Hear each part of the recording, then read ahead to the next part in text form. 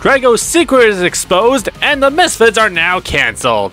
I am Haru Ren. Welcome to my review of episode 13 of Bakugan Gen 3. So, spoiler warning, if you haven't seen this episode yet, go back and watch it now. But if you have, sit back, relax, and enjoy my review of episode 13 of Gen 3.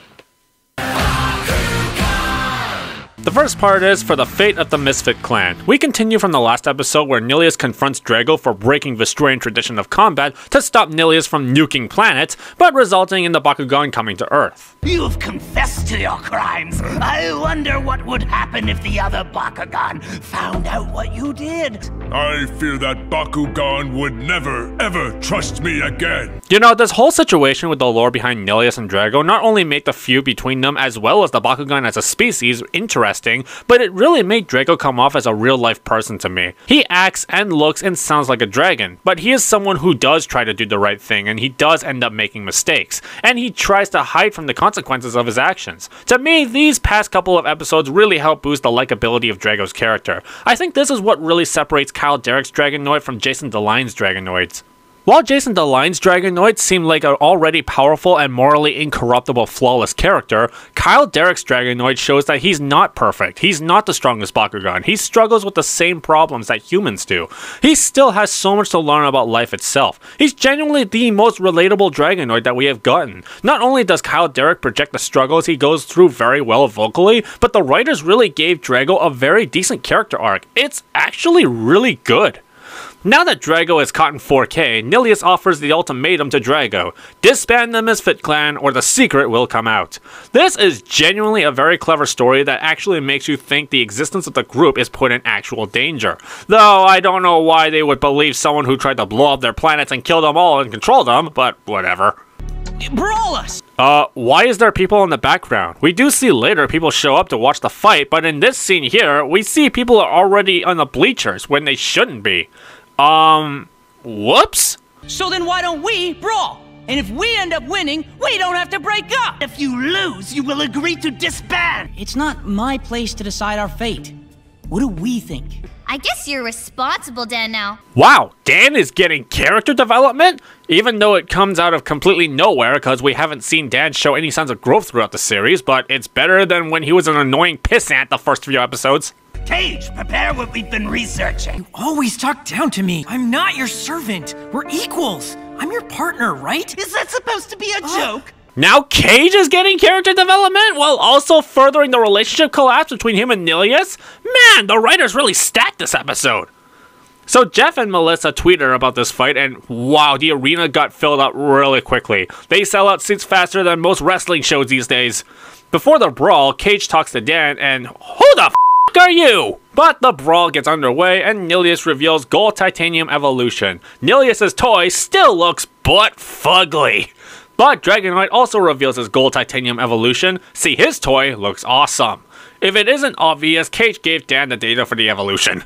This fight was probably the best fight that we have gotten in this series so far. No joke, I was at the edge of my seat watching this. When Nilius has the upper hand at first, it really seems like Drago is struggling because he hasn't really learned to handle the evolution yet.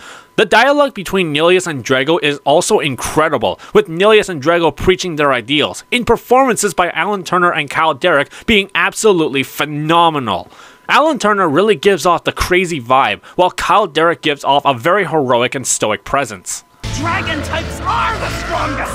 You don't seem to understand. So I will show you my power. Are the misfits worth suffering for? I'll happily risk my honor to do what's right. You might never understand, Nilius, but my clan lifts me up. They have my back, and they make me stronger. The action here is reflective of their characters, where Nilius is focused on blind attacking full force, while Drago is patient and waits for an opening to counter, and he can really depend on Dan to help him when he needs it. The only thing I will say that could make this better is if we can get a reflection of their last fight since they seem to bring it up a lot. Last time Nilius only won because Drago was saving a Bakugan and used that as an opening to cheap shot him. What if in this fight Nilius tries to attack Dan and put him in danger to get Drago to protect him and use that as an opportunity to try and win, but Drago ends up learning from the last encounter and finds a way to fight back. That would have made this a lot more cooler and really give us more of a second chance encounter. But with what we got now, this is alright since the drama surrounding this is there, and Nilius dismissing Cage so much as he did in the beginning really bites him in the ass. The story of this fight was really one side obsessed with power that he can't depend on his partner, while the other is a ray of hope fighting for his friends. So in the end, Cage refuses to help Nilius and declares he's done with him, and that gives Dan the opportunity to get Drago a BAM and rain down fire to win. This fight was awesome! But oh no, this hooded figure found a way to get to the Kokkido Drive. Why was this not destroyed like immediately? And we move on to My Fingers Were Crossed, where we start off at the exact same place that we left off with. Dan and Drago are still celebrating their victory, thinking that the Misfits have finally got their message across to the other clans, but oh no, Nilius pulls an Eddie Guerrero and exposes the secret anyway. You know, Drago did break the tradition first, and it led to the very dire consequences. Even though this makes Nilius a hypocrite, you get why he did this. Dragonoid is the reason the Bakugan ended up on this planet! It is the truth. Hear me out. What about the humans? Meeting them has allowed us to evolve. It might be the shock at the moment, but I feel like this whole thing could have been fixed if Drago said, Nilius wanted to destroy your homes with you all in them. I stopped him and it led us to being here. This wouldn't have happened if Nilius wasn't trying to kill you all first. So the Bakugan all turn against Drago, but then suddenly a big red cloud appears and causes the Bakugan to rampage. Stop that right now! Why aren't you listening to me? Uh, Razor isn't rampaging here. Why would any other Bakugan be listening to you? I think they mix Rip's dialogue with someone else's. That was right! I was kinda hoping Chip would get killed here. I also want to know what this Vulture Bakugan is. It looks pretty cool. We can never put aside what you've done. You're a traitor. We'll never trust you again. I mean, you never trusted him to begin with. All you all have been is dismissive of him. But yeah, the other Bakugan doesn't want to help because petty reasons, Drago lied to them, yada yada, and the Misfits go to stop the rampaging by themselves. As you can guess, it's not going so well. It really is a great piece of storytelling that the Misfits managed to bring their message of diversity and unity, but because they can't look past Drago's mistake, they don't accept it. Even though it seems like the Misfits made progress, they still have a ways to go because of the setback. The animation for this scene, though, is pretty good, mixing together hand-to-hand combat and also the Pokemon moves. It's a really great piece of animation and really great combat to really watch. So the other clan leaders end up helping to save the city, but afterwards they still don't want anything to do with the Misfits.